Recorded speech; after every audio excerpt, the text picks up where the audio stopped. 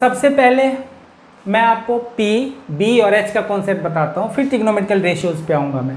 सबसे पहले ये सीख लो कि P और B में क्या गेम चल रहा है। ये जो आपका राइट ट्रायंगल है यहाँ पे 90 के अपोजिट वाला तो हमेशा हाइपोटेनियस होगा। That is the largest one उसमें कोई प्रॉब्लम नहीं वो कभी चेंज नहीं होता। चेंज क्या होता है?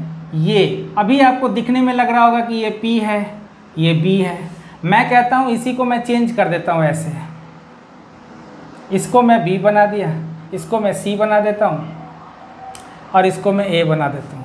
अब देखो ये तुमको दिखने में नहीं लग रहा कि ये बी है, ये पी है but H never changes H कभी चेंज नहीं होता। H is the largest one तो ये आपका 90 के अपोजिट वाला है। ये एच होगा, इसमें तो कोई टेंशन ही नहीं है।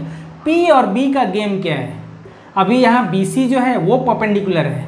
पी और बी क्या है? परपेंडिकुलर एंड बेस तो यहाँ ए बी है परपेंडिकुलर दिखने से लग रहा है। यहाँ बी सी है परपेंडिकुलर ये क्या चक्कर है? अब देखो पी और बी का क्या हो रहा है गेम होता क्या है, अगर क्वेश्चन में एंगल सी की बात हो रही है तो जिस एंगल की बात हो रही है, उसके अपोजिट वाला हमेशा पी होगा।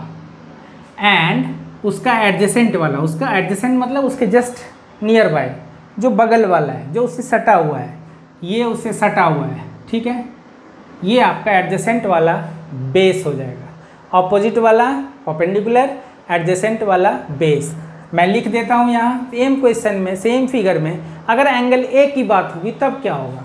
तो मैं आपको बता दूँ कि जब आप एंगल ए लोगे, ये है आपका ए बी और सी ये आपका 90 है।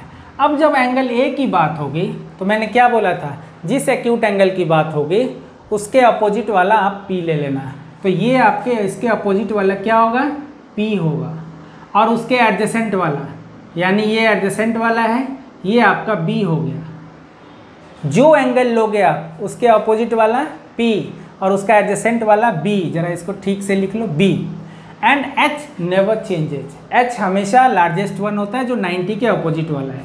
तो एच का तो कोई प्रॉब्लम ही नहीं है, वो कभी टेंशन नहीं देगा। आपको टेंशन देगा पी और बी का।